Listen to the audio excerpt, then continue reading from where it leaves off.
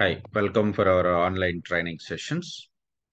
In this session, I'm going to explain you how strong we have to prepare SQL and PLSQL for Oracle Apps technical. And are there any separate jobs only on SQL and PLSQL? For example, we have learned SQL, PLSQL, then we have learned Oracle applications technical. Finally, we are looking for, I'm okay to go as a PLSQL Oracle developer or Oracle Apps technical developer. This, this in this scenario, there are some openings on SQL PLSQL developer also. When you apply as a PLSQL developer, then your uh, their expectation will be very high. Very high in the sense strong in SQL as well as PLSQL. We are talking about SQL syllabus. What are the things we have to learn? What are the things we have to learn for Oracle Apps Technical or uh, for SQL?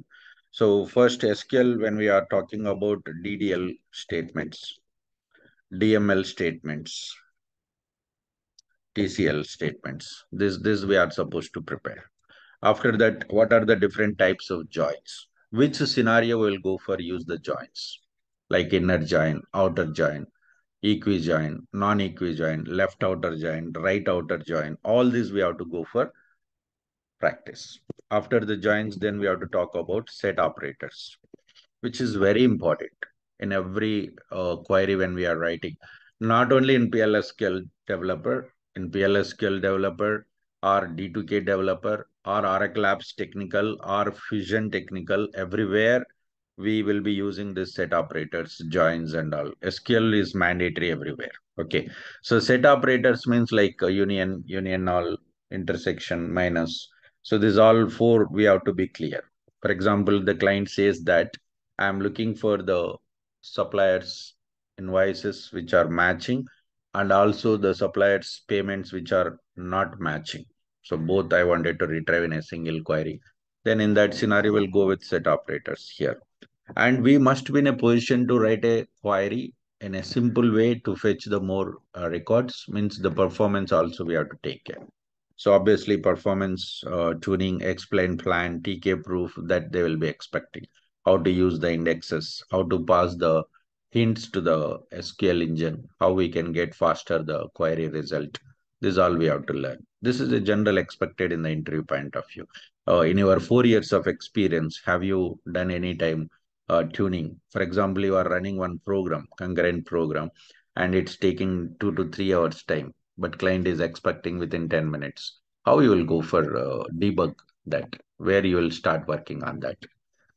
Okay, so what are the things you will consider and what are the things you will check uh, in that program? So these all their, their expectation. So we should be very strong on the basics. If you are strong in the basics, then we can do that. Okay. So when I say basics, when, when we are learning some topic in SQL, we must be very clear. What is the purpose of that? For example, we have NVL and we have NVL2. Why we required these functions? What purpose we required? Which scenario we will be using this? For example, I'm going to develop one purchase order report where in purchase order report, uh, some of the fields are optional, not mandatory. For example, supplier contact is there. Sometimes supplier contact may not be getting. So I can go for use some value. Client wants to display some value instead of null. Then we will use the NVL operators like that. Okay. So decode functions. Then couple of string functions, date functions are very important. When we are working, almost every report will be using the date functions from date to date, comparing the dates. Uh, and I, I, just wanted to know the invoices uh, last month uh, between these two dates. Or I just want to know the invoices for a particular day. Okay, so we have to go with the comparisons. String functions, date functions, and character functions. Conversions, to date, to char, this this all uh, highly expected. Here it is. And uh, switch statements. How we can go for work with this. And then we will be working with the where clause group by clause having clause. This is all we are going to discuss especially when you are attending for an interview. Difference between where clause and having clause. If i want to use having clause what are the things are required here can I use having clause directly in where clause? Can I use having clause in subquery? Can I use having clause in from clause? So this type of questions they'll be asking. So we have to prepare all this and note it down. Notes is very, very important many people says that i have prepared i have done uh, in the lab i have done practice but when i am attending for an interview i'm not able to recollect. This recollecting will happen when you do it every day but we can't do each and every statement every day right?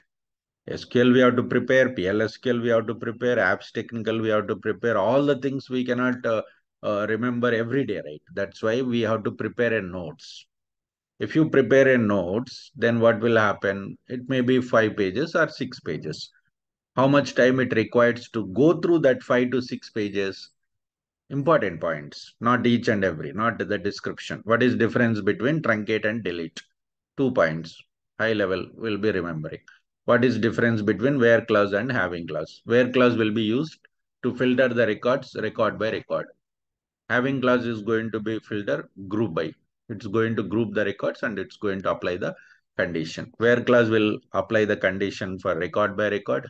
Having clause apply the condition for group of records. That's the simple. So if I want to use any uh, group function like sum or count or minimum or maximum in the select clause, what I have to do? Obviously, I have to write a group by class. Right. So this type of uh, things we have to note it down, answers in our notepad or uh, in our white paper also. So that when the interviews are preparing like uh, every day 15 minutes is sufficient to go through all sql and plsql right. So instead of going through the video better this way so that we can easily remember those things.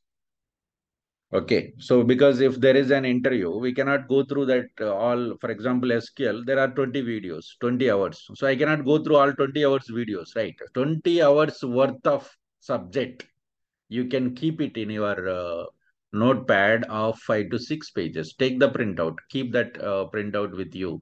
And whenever you have 10, 15 minutes time, just read those five pages. Enough.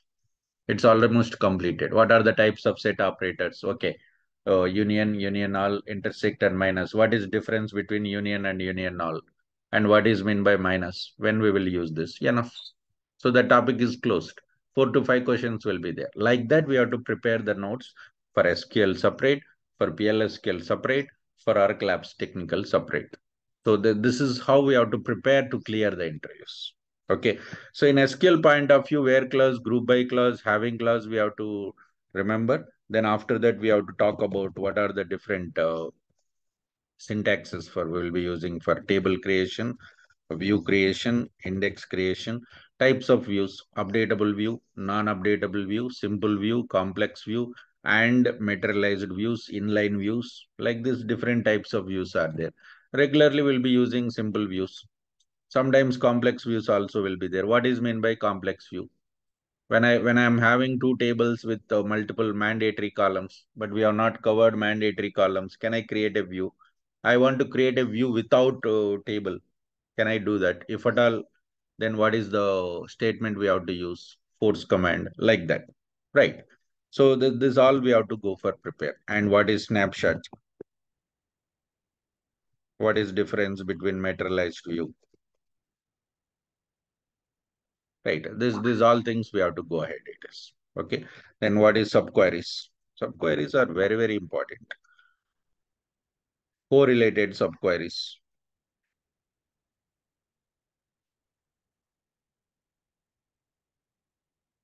correlated subqueries. So we must be uh, practicing subqueries and correlated subqueries couple of times and then note it down. What is different? Subquery means first inner query will be executed and it returns the value based on that parent query will going to be executed. Then how about the correlated subqueries?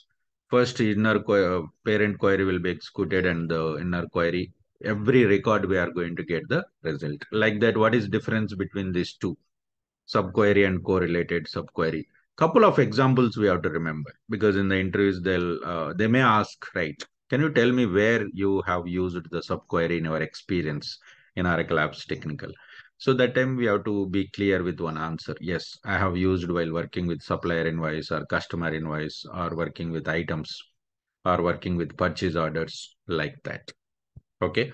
So at the same time, uh, when we are talking about the SQL point of view, they'll ex they'll expect some performance tuning concepts like explain plan. Then after that, TKPROF.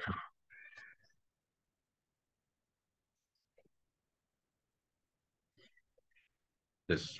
So this this all uh, required. So we may not be able to uh, see this practically. What is the uh, result for performance?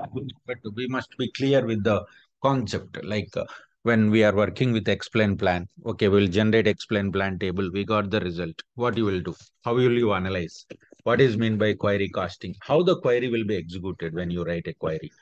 okay, first which block which clause will be executed next to which clause will be executed like that we are going to uh, prepare for the excuse me sql here so in from clause can i work with that that's what we call it as a inline views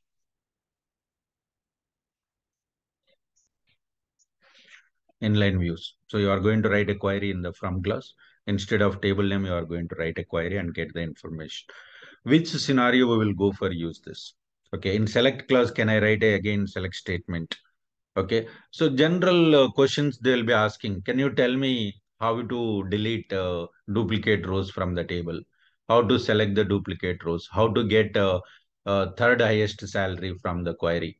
If I write select count uh, star, what will be the result? If I select count of one from table, what will be the result?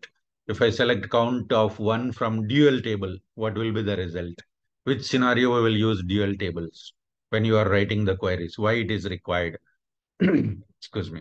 So this type of uh, questions, uh, they'll be asking. There are around 10 to 15 standard questions uh, that generally we don't use in the real time. Very rare case, but still uh, it's a standard questions in the interview they will be expecting. We must be clear with the answer with the explanation. So those, those all will be talking uh, 10, 15 questions. Uh, uh, what are the questions and what are the answers we have to give?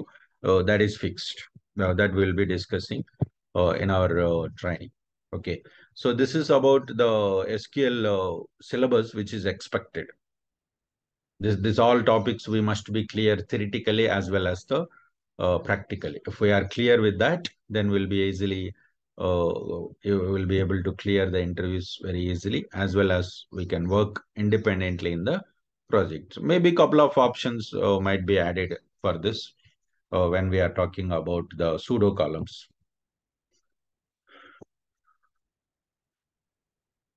Like row ID, row num, next cur val. This is all pseudo columns, right? So what is row ID format? What is row num? When the row ID will be generated? When the row num will be generated? Oh, have you used any time row num? Why you have used? What purpose? So we should have an example for every of that so that we can confidently speak in the interview. Yes, I have used the row num when I'm trying to select some invoices. Row ID, when you try to insert, it will be generated.